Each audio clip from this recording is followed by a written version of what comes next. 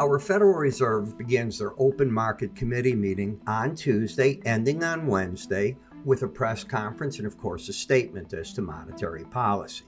What everybody's looking at is seeing what the Fed's going to do given a slowing economy, something we haven't talked about in a while, and fighting inflation. Everywhere you turn, you see prices a bit higher. My guess is that we'll be looking more at the dot plot that the different members put out. You never know who's saying what, but it's a way for them to voice whatever they think should be done in terms of the current amount of money that we're putting into the economy, let alone when they think interest rates will go up.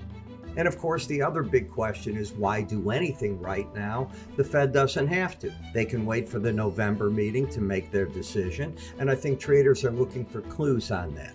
Do I expect any big changes out of tomorrow's meeting? In an answer, no.